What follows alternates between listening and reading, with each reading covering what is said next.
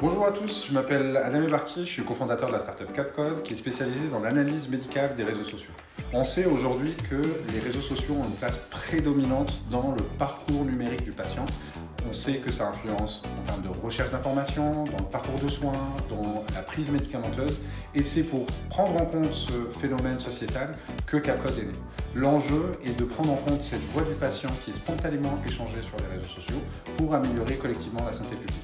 On parle de plus d'un tiers de la population française, de plus de 40% de la population européenne et de plus de 50% de la population américaine qui s'exprime au quotidien sur sa santé. L'enjeu est de pouvoir faire en sorte que la voix du patient soit entendue par l'ensemble des parties prenantes de santé.